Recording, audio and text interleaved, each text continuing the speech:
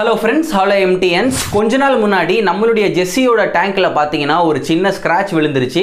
இந்த ஸ்க்ராட்சை நான் ஒரு ரூபா கூட செலவு பண்ணாமல் இப்படி இருந்த அந்த ஸ்க்ராட்சை இப்படி கம்ப்ளீட்டாக தெரியாத மாதிரி மறைச்சிட்டேன்.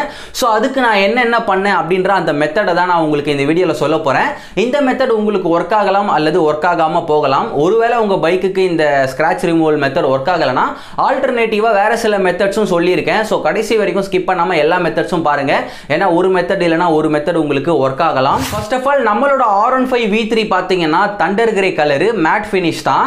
ஆர் ஒன் ஃபைவ் வி த்ரீலேயே மட்டமான பெயிண்ட் குவாலிட்டி எது அப்படின்னா இதுதான். ஏன்னா பொதுவாக ஒரு பைக்காக இருக்கட்டும் இல்லை காராக இருக்கட்டும் அதோட பெயிண்ட் லேயர் பார்த்தீங்கன்னா ஒன் ஆர் டூ கோட்டிங் கொடுத்துருப்பாங்க.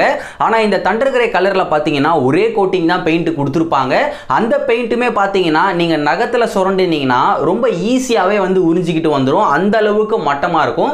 ஸோ அதனால் நம்ம பைக்கோட டேங்க்கில் பார்த்தீங்கன்னா ஈஸியாக ஸ்க்ராட்ச் விழுந்துருச்சு. ஸோ ஸ்க்ராட்சை ரிமூவ் பண்ணுறதுக்கு நாம் பண்ண வேண்டிய ஃபர்ஸ்ட் விஷயம் அந்த ஸ்க்ராட்ச் ஆன இடத்துல இருக்கிற டஸ்ட் எல்லாமே நம்ம ரிமூவ் பண்ணணும்.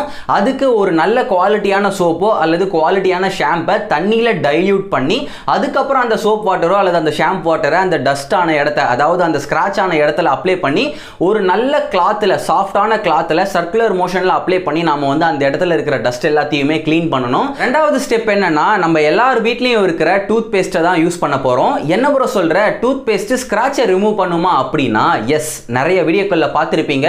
டூத் பேஸ்ட்டு மைன்யூட்டான ஸ்க்ராச்சஸ் எல்லாமே மறைய வைக்கும். ஸோ முடிஞ்ச அளவுக்கு ஒயிட் கலர் டூத் பேஸ்ட்டை எடுத்துக்கோங்க. வேற எந்த கலருமே சஜஸ்டபிள் கிடையாது.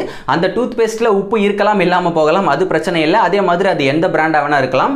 ஆனால் toothpaste white colour tooth பேஸ்ட்டாக இருக்கணும். அந்த ஒயிட் கலர் டூத் பேஸ்ட்டை ஸ்க்ராட்ச் ஆன இடத்துல மைன்யூட்டாக அப்ளை பண்ணிட்டு அதே கிளாத்தை வச்சையோ அல்லது ஒரு மைக்ரோ ஃபைபர் கிளாத்தை வாங்கி நீங்கள் அந்த சர்க்குலர் மோஷனில் அதே மாதிரி அந்த இடத்துல தேய்ச்சிக்கிட்டே இருங்க. கொஞ்சம் கொஞ்சமாக டூத் பேஸ்ட் ஆட் பண்ணி ஒரு four to five times apply பண்ணி இதே மாதிரி தேய்ச்சிக்கிட்டே இருங்க. தேய்ச்சி முடிச்சதுக்கு அப்புறம் மூணாவது ஸ்டெப்புக்கு போனோம். இதுதான் இருக்கிறதுலையே ரொம்ப ரொம்ப முக்கியமான ஸ்டெப்பு கொஞ்சமாக பெட்ரோலை எடுத்துக்கிட்டு சாஃப்டான கிளாத்தில் தொட்டு தொட்டு அந்த ஸ்க்ராட்ச் ஆன இடத்துல சர்க்குலர் மோஷனில் நீங்கள் தேய்ச்சிக்கிட்டே இருக்கணும். ஏன் இதை பண்ணணும் அப்படின்னா பெட்ரோல் ஹைலி ரியாக்டிவான லிக்விட் ஸோ அந்த லிக்விடை நம்ம ஸ்க்ராட்ச் ஆன இடத்துல வச்சு நம்ம சர்க்குலர் மோஷனில் ஒரு சாஃப்டான கிளாத்தில் ப்ரெஷரை கொடுக்கும் பொழுது அந்த பெட்ரோல் சுற்றி இருக்கிற பெயிண்டில் ரியாக்ட் ஆகி அதை டைல்யூட் பண்ணி அந்த பெயிண்ட் எல்லாத்தையுமே ஸ்க்ராட்ச் ஆன இடத்துல நமக்கு ஃபில் பண்ண வைக்கும். இந்த இடத்துல நீங்கள் பண்ணக்கூடாத ஒரு விஷயம் என்னன்னா பெட்ரோலை டிப் பண்ணி இந்த மாதிரி சர்க்குலர் மோஷனில் நீங்கள் தேய்க்கும் பொழுது ரொம்ப அழுத்தி மட்டும் தேய்ச்சிடாதீங்க. அப்புறம் மொத்தமாக பெயிண்ட் எல்லாமே உறிஞ்சி துணிலேயே ஒட்டிக்கும். அதனால் லைட்டாக நீங்கள் வந்து ப்ரெஷர் கொடுத்து சர்க்குலர் மோஷனில் பெட்ரோலை தொட்டு தொட்டு தேய்ச்சிக்கிட்டே இருங்க. ஒரு ஃபைவ் மினிட்ஸ் இந்த மாதிரி நீங்கள் தொட்டு தொட்டு பண்ணும் பொழுது சுற்றி இருக்கிற எல்லா ஸ்க்ராச்சஸுமே கொஞ்சம் கொஞ்சமாக அந்த பெயிண்டால் மறைய ஆரம்பிக்கும். அந்த பெயிண்ட் எல்லாமே அந்த ஸ்க்ராட்ச் ஆன இடத்துல போய் ஃபில் பண்ணி சுத்தமாக ஃபைனலாக பார்த்தீங்கன்னா உங்களுக்கு கம்ப்ளீட்டாக அந்த ஸ்க்ராட்ச் ரிமூவ் ஆகிடும் ஸோ நீங்களே பாருங்க இப்படி இருந்த ஸ்க்ராட்ச் இப்போ சுத்தமாக இல்லாத இடமே ஆயிருச்சு. ஐ மீன் இருக்கிற இடமே தெரியாமல் போயிருச்சு. என்னென்ன சொல்கிறான் பாருங்க கம்பி கட்டுற கதையெல்லாம் இழுத்து போடுறான். இதெல்லாம் நம்புற மாதிரியா ப்ரோ இருக்கு அப்படின்னா எஸ் இதை எதையுமே நீங்கள் நம்பக்கூடாது. ஏன்னா யூடியூப்ல ஹவு டு ரிமூவ் ஸ்க்ராட்ச்னு போட்டிங்கன்னா எக்கச்சக்கமான வீடியோஸ் பெரிய பெரிய சேனல்ல இருந்தே போட்டிருப்பாங்க.